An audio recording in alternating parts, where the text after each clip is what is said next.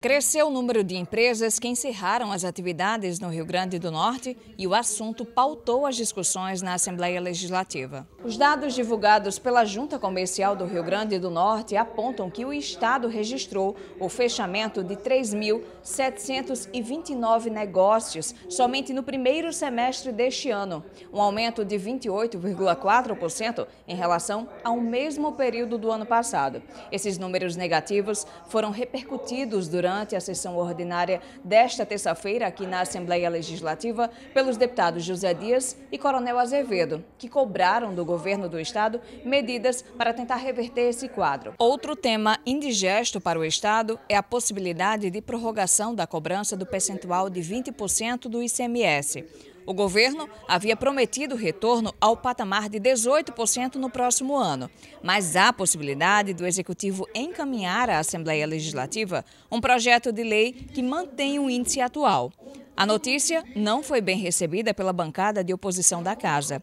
Já Francisco do PT não descartou o envio da mensagem governamental. Eu ainda não tenho oficialmente a confirmação de que essa matéria virá à casa. Mas, é, em conversas que tive, existe essa possibilidade, até como uma forma de, juntamente com outras medidas, é, o governo ter um incremento ou, ao menos, buscar manter a sua base de arrecadação para poder honrar com os seus compromissos.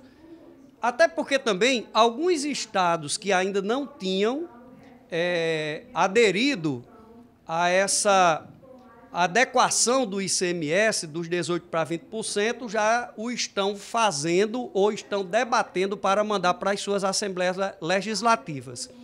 Então, assim, é possível que essa matéria venha à Casa Legislativa para apreciação. A campanha Setembro Amarelo, em que se discute a prevenção ao suicídio, também foi assunto durante a sessão, no pronunciamento da deputada Eudiane Macedo. A parlamentar anunciou a realização de palestras em escolas públicas para discutir o tema. Nós sabemos que temos, estamos tendo um crescimento muito grande no Brasil, um aumento de 11,8% comparado com o ano de 2021. E esse índice é um índice assim alarmante, né? Eu acho que esse é um tema que devemos sim abordar, mas não somente no mês de setembro, e sim nos 365 dias do ano, porque todos os dias nós ouvirmos né, e tomamos conhecimento de pessoas que realmente tiram as suas próprias vidas.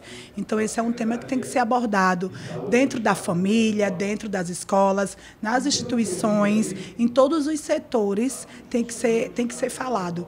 E o nosso mandato, né, nós estamos com uma ação. Nesse primeiro momento, vamos em quatro, quatro escolas, não somente na capital, e sim também no interior do nosso estado, para falar falarmos, né? Para dizer que não desista de você, né? Que o tema é o Setembro Amarelo sobre o suicídio.